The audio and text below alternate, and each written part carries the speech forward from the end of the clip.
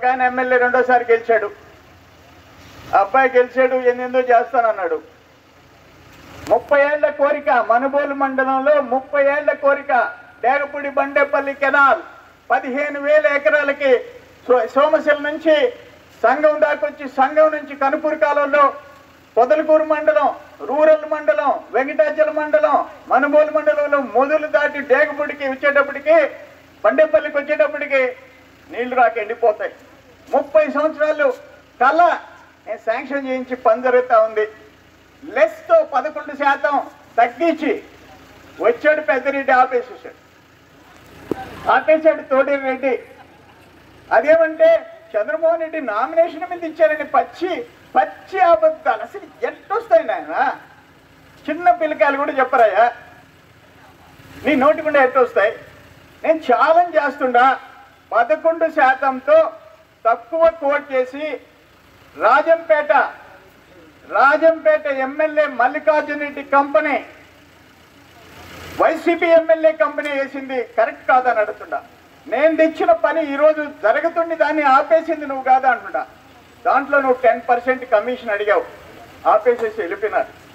పది శాతం కమిషన్. మొత్తం పనులు ఆపేసేసావు.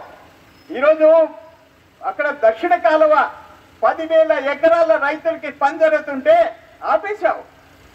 నీకెట్ట మనసు వస్తుంది పొదలకూరులో mega water plant mineral water పది పైసలకి లీటర్ తాగేదానికి మొత్తం మండలానికి నాలుగు కోట్ల డెబ్బై లక్షలతో పని ప్రారంభిస్తే ఆపేశావు. ఏం చేయబోతుండవు? ఈ నియోజకవర్గాన్ని ఏం చేస్తావు?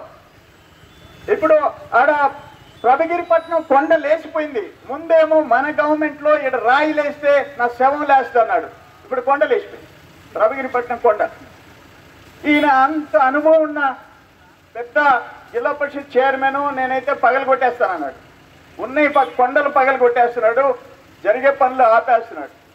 ఇప్పుడు ఏంటంటే లేటెస్ట్గా ఐదు వందల రూపాయలు పంచుతారంట. ఒక్కొక్క ఓటర్కి ఐదు వందలు పంచుతారంట వైసీపీ వాళ్ళు. నేనేమంటున్నానంటే అయ్యా పేదోళ్ళు తాగే మందు దగ్గర నుంచి. ఇంట్లో ఆడోళ్ళు వంట నూనె తెచ్చుకునే దగ్గర నుంచి ఎనభై రూపాయలు తెలుగుదేశంలో ఆయిల్ నూట అరవై రూపాయలకి ఇస్తున్నారు. దుర్మార్గం. వెయ్యి రూపాయలు పన్నెండు వందలకు వస్తున్న ఇసుక ఆరు వేలకి ఇస్తున్నారు ఏడు వేలకి ఇస్తున్నారు.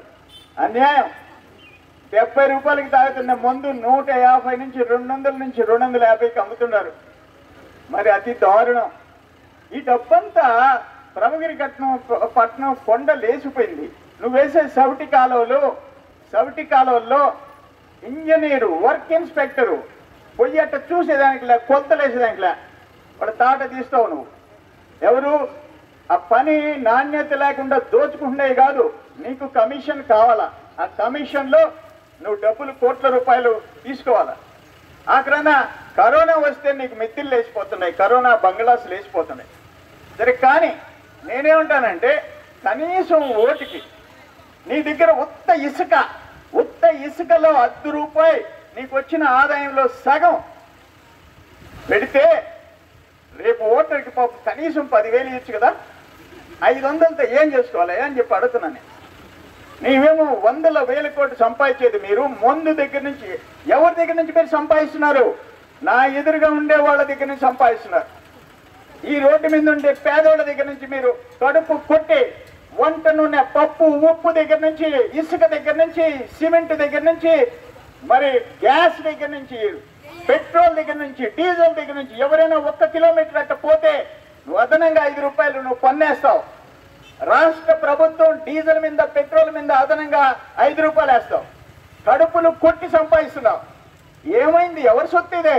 నువ్వు కనీసం ఈ ఎలక్షన్కి ఓటుకి పదివేల రూపాయలు ఇస్తే మీ తాత ఏం పోయింది? మీ తాత సొత్తు ఏమి వచ్చి పంచడం లేదు కదా. ఐదు వందల రూపాయలు దేనికి పంచుతావయ్యా అని చెప్పి అడుగుతున్నాను